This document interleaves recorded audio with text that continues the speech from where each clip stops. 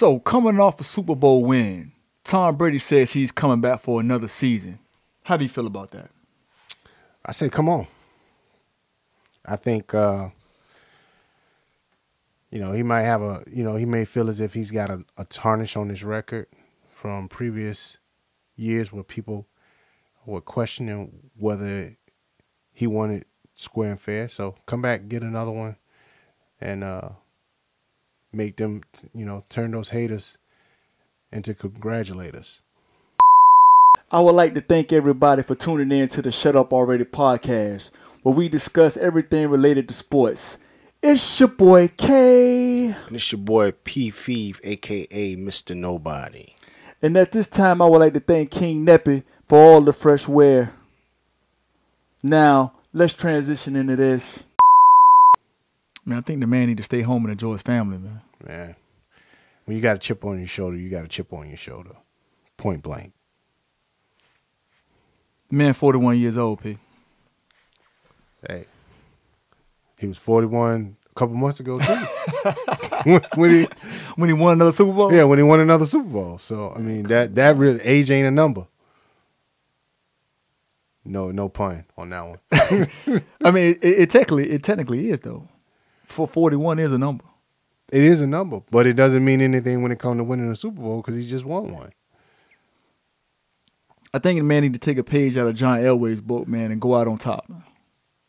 I mean, only thing I say is if he gets out there and he got the same line, he's got the same football IQ, and he's getting it done, let him live. But if it comes to a point where every game he's limping off the field, hey Tom, you might want to pack it on in. But see, the only problem I have with this is you never know when you're holding on too long until you're in the middle of it and everybody has to witness the train wreck. That's the problem. Like you can't predict the future, so he's gonna go out there because he feels like he felt last time, and then we're all gonna get to witness the train wreck right in front of our eyes. Well, I mean, but it was his choice. Let's let's let's not forget. It is his choice. You're right. It's it's his choice to go out there. So he knows what's best for him. So he get out there and the train wreck happened. He's the one that he pulled the sheet back for, for us to see it. He wanted you to see it. If he don't feel like his body is in the right condition or his football football IQ isn't there, then he would know better. He would know best. And if he knew what was best for him, he would stay home. But if he feels as if he still got it, let him go out there. But if we witnessed the train wreck, he gave you a ticket to the show. you know what I compare this to? What's that? So do you remember how you felt when when Jordan left the Bulls and he played them a couple of years for the Wizards? He should have packed it on in. He should have left about two years earlier, right? Yeah, I, I agree. I don't want to see that same thing with Tom Brady. But he didn't switch uniforms. Yes, but it'd be, it'd be the same result. It'd be the same result. He should have packed it in a couple of years earlier.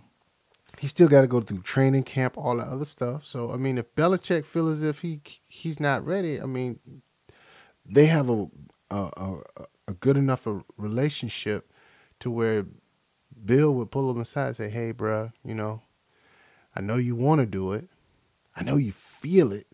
I know you want to lead a team, but physically, you, from what I'm seeing, you might not be ready for that now, or our time is, uh, you know, our time is past. Somebody's got to be the reality check.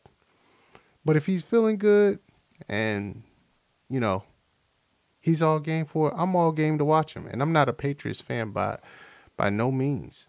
But if the man want to go out there, he got a chip on his shoulder. Want to, even if he gets ten rings, so be it. I mean, I'm not a Patriots fan either, but I just hate seeing athletes at the highest level just hang on just a little bit too long and then you start seeing the decline witness right in front of your eyes. I, I hate that.